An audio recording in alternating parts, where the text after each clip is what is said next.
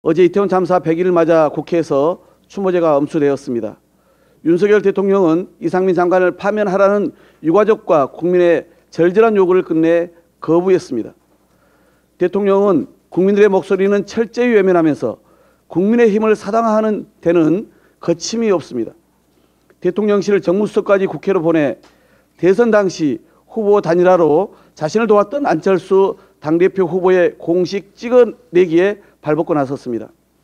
자기 편이 아니라고 여겨지면 그 누구든지 간에 적으로 규정해서 말살하고 제거하는 데 주저앉는 윤석열 대통령의 실체를 온 국민이 탄식하며 지켜보고 있습니다.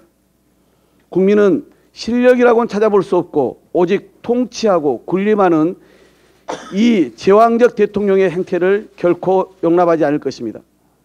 우리 민주당만큼이라도 국민의 목소리에 더 귀 기울이고 국민 곁으로 더 다가서겠습니다. 오늘 오전 의원총회에서 이태원 참사의 책임을 물어 이상민 장관의 탄핵 소추 여부를 최종 결정합니다. 지난 주말까지 의원들의 의견을 충분히 수렴한 만큼 정치적 유불리가 아닌 오직 유가족의 절규와 국민의 상식에 입각한 책임 있는 결정을 내리겠습니다.